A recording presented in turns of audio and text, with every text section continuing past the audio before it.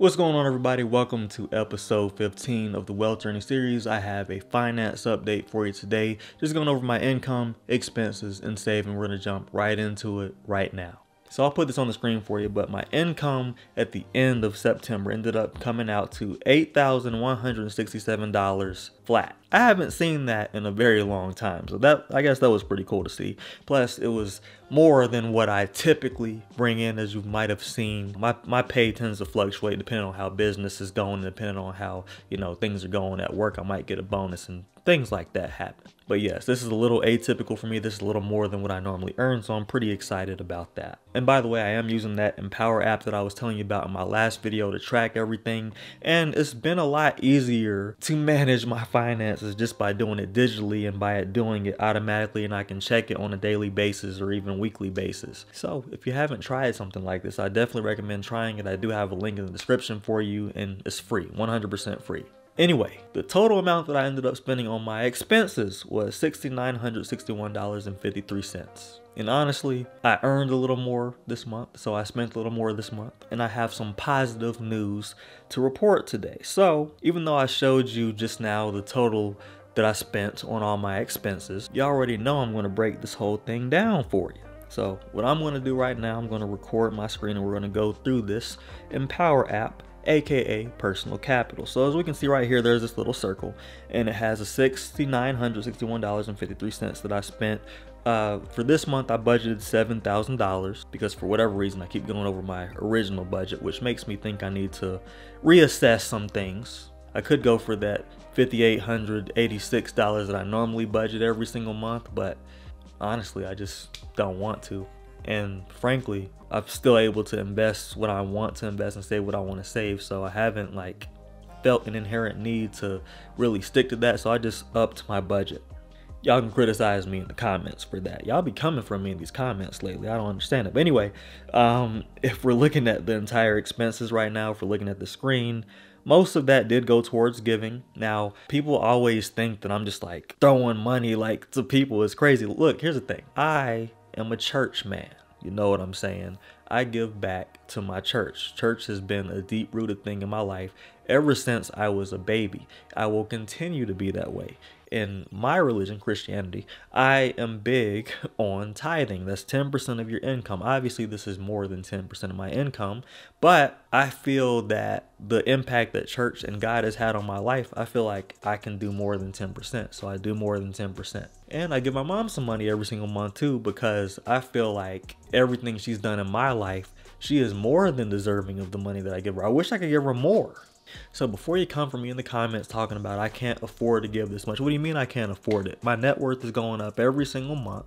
I'm able to save more and invest more every single month. And since this is something that I can control, if I ever feel like I need to dial back, I can always dial back. So yeah, I don't really have anything planned for this video. I'm just kind of speaking my mind today because I've been seeing some of these comments. Some of these get about outrageous. Talking about something, if, you know budgeting, you know you can't afford it. Okay, when you can't afford something, you're literally like taking out loans and going into debt just to do something. I'm not doing that. Anyway, moving on.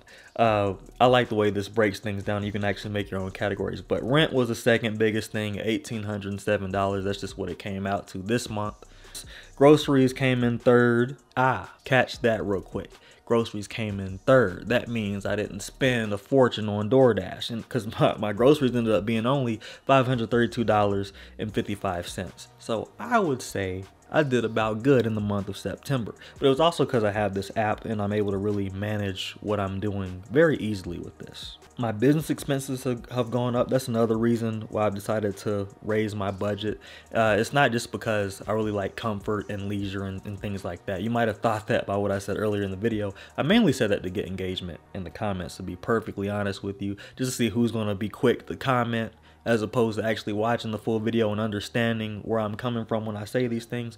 But I want to scale my business and grow my business. So y'all know I have a website. Y'all know I have an email automation process. Y'all know I have products that I'm selling and I'm hyper focusing on one particular product right now and I'm creating it right now. It's my wealth building course. I also have Zoom, but I also invested in the courses that can help me become a better businessman and help me build better products and better things that add more value to you guys and girls. And if y'all know anything about me, you know that most of my time that I spend in life, like outside of work and all that aside, most of the time I spend is spent becoming a better man. So I'm working on exercising and cardio, lifting weights, fighting because I really like fighting and being able to defend myself and, and the people that I care about. So I do Muay Thai, but outside of all of that, I'm also working to create even more income for myself. And I spent quite a bit of time learning how to invest to create even more income from where I put my money into and eating the right things and getting the proper amount of sleep. Like all the time that I spend and all the money that I spend at the young age that I am right now of 29, and this is pretty much what I've dedicated my whole 20s to, I've dedicated this to getting better at my career, becoming a better professional, becoming a better man, becoming a stronger man, becoming a faster man. All these things have turned me into a very well rounded person. So I don't mind increasing my budget to buy healthier food or to work out at better gyms to get better quality workouts and get one-on-one private training I don't mind spending extra money on courses to make me smarter at business and better at business. If that means I'm going to spend more money on books within my budget to become better, I'm going to 100% do it. So I say all that to say I spent $480.27 on business expenses. Some of that was courses, some of that was website based stuff. And I'll jump into exactly specifically what I what I invested in. So we have things like Zoom. I did buy a couple of courses from this lady named Maria Wendt. She seems to be a very, very sharp business coach. So I invested into some of her stuff. Epidemic Sound, that's stuff that you know what I'm saying. The music you hear in the background right now, that's that's a monthly thing. $18 a month on that and I spent some money on the thumbnails for this entire month. So the thumbnail that you saw in this video, I didn't make it, but I hired someone to make these amazing thumbnails you've been seeing lately, and I paid a whole month and a whole month worth of thumbnails. It's only $120, but what I'm saying is I don't mind to improve my business, improve my YouTube channel, improve myself, and spend extra money in doing so. So if you see numbers starting to go up, I'm gonna make sure that one, my pay has gone up to actually match me moving my budget up, but two, I'm also putting my money into things that are making me more money. It's not just things that I'm just wasting money on and just spending money and splurging and acting a fool. Like I'm actually putting money into things that are making me money. My gym bill didn't end up being as high this month as it usually is. It's usually budgeted for like I think $420. I only spent $337.98 this month. So it was a pretty good month for the gym. Did have to cancel a few private sessions just because our schedules get very busy, me and coach, but it's all good. Insurance $322.27 just so you know. That is my life insurance, which is only $150 a month when you add up my whole life and my term and then car insurance as well is added on to that. DoorDash, even though I budgeted for $200, you know what I'm saying? I spent $318.09. That is phenomenally better than $799. So I personally will take that any day, any day over what the mess I went through uh, last month. I can barely talk. I'm so hot about that mess.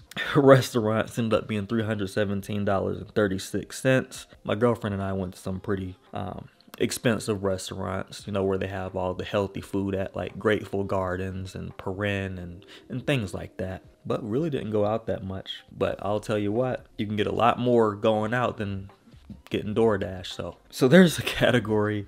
Uh, I need to change the name of this, but there's a category called general merchandise, which I spent two hundred forty-seven dollars and eighty-one cents on, and that's just Amazon. And I'll actually click on it. You can't see exactly what I bought, but essentially just supplements. So, um, I got vitamin D3, magnesium, I got this supplement called Lung Tonic. It basically helps keep your lungs clear because the weather's changing. My allergies have been acting up, and you know what I'm saying. I got to make sure I stay about healthy and continue to exercise and things like that. And Amazon Prime was also mixed in with all this lovely stuff. Gasoline and fuel. I mean, that's self explanatory. That's how much money I spent on gas $218.53. Loans, $211.06 my phone bill is $175. You, you see the list, you know what I'm saying? This right here is the tiny expenses. My utilities were very tiny. It was only $52.16 for last month. I mean, what can I say? For entertainment, it's just Netflix and Peacock, which I don't even use Peacock, so I should probably delete it. And this $10, this is Patreon, which I don't use either, so I should probably delete that. But yeah, that is my expense breakdown. I know I talked quite a bit back there, but I had to get some things off my chest. But you know, I also have a savings category, and I want to go over that real quick because this time around I did not really intentionally put money into savings. Like I intentionally put money into other things other than savings. So you know, I bought the courses. That's investing, and that's a part of saving. We already went over that. Didn't really spend too much. It was maybe $140 total that I spent on the courses. And I actually got 24 courses and two big spreadsheet templates for a lot of stuff for that money. So it was actually a lot of value I got for very little bit of money. So very, very, very good deal. But outside of that, I put $700 into my Roth IRA and as a disciplinary action, well, a good disciplinary action, I, I, would say, towards myself. I realized I was spending at least $400 more than I should have on DoorDash every month, so I dedicated $400 to my Webull account and so so I bought 1.7 shares of Nvidia and I bought like 0.8 shares of Apple. So I did $200 from one paycheck and then $200 from another paycheck and I put more money in my Webull account. So now I am in fact investing in my Webull account again. Now, going forward, what I'm going to do, I'm going to start looking at with that $400, is it going to always go towards Webull? Or am I going to start investing more into my education from a business perspective and continue to gain more skills and grow in that way? We'll see. That's stuff that I got to figure out with myself pretty much. But anyway, I know this is a little different and um, my energy was a little different in this video. I just have to address some of these things that be having in these comments. Some of y'all get outlandish. Like in my opinion, if I'm the one making videos, right? And I'm the one being transparent, putting myself out there, put my money out there. I know people can say anything and no, I never like got upset or angry or anything at reading comments, but like it's more coming from a place of the nerve of some people. How you gonna sit there and criticize me talking about something? Oh, you have life insurance, that's a waste of money, that's stupid. Oh, you're giving money to your mom, you shouldn't be doing that. Oh, why are you donating so much money every month? It's like, look, there's ways you can ask people things, and there's ways you can come off disrespectful. So I would just say, if you're gonna ask a question out of curiosity, that's one thing. It, even if you have guidance for me or if you feel like I'm doing something wrong, I am a very receptive person. But if you come at me sideways, like ain't gonna be no reception, it's gonna be backhands. That means I'm gonna be coming at you with that clap back in the comments since y'all wanna be up there acting up. So yeah, like I said, I know my energy might have been a little different in this video and I might have had a different pacing. I actually kind of like the way I did this video, but it's different because I'm going off my phone. I'm going through the app, which I do like a lot,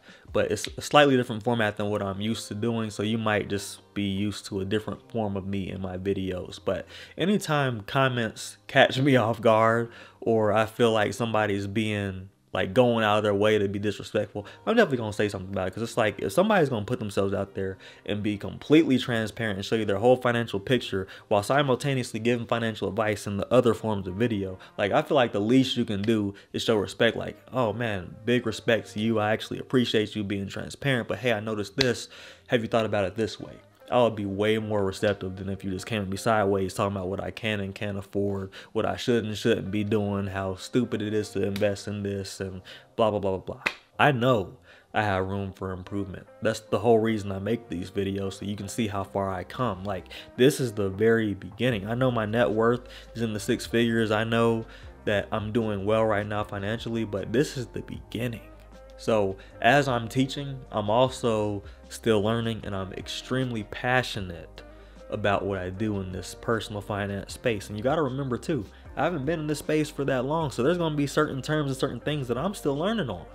There's certain topics of videos that y'all are going to be talking about in the comments that I haven't made yet that's going to give me an idea to learn about that thing and then make videos about that thing. Anyway, I'm going off on a tangent. I am very sleep deprived at this moment, so I'm going to stop recording. I'm going to get me some well-deserved sleep after eating, of course. And I will see you in the next video. I actually appreciate you guys a lot and thank you so much for watching and sticking with me. Um, I have a lot of fun making these videos. So all comments aside and, you know, all that stuff, like I really do appreciate y'all watching my videos and I appreciate making these videos for you. And I'm going to continue to do so. And I'm going to continue to be making products for you guys. Thank you so much for watching. If you don't have my net worth template or my savings goals template, they're down in the description and they are 100% free. Thank you so much for watching this video. I'll see you in the next one.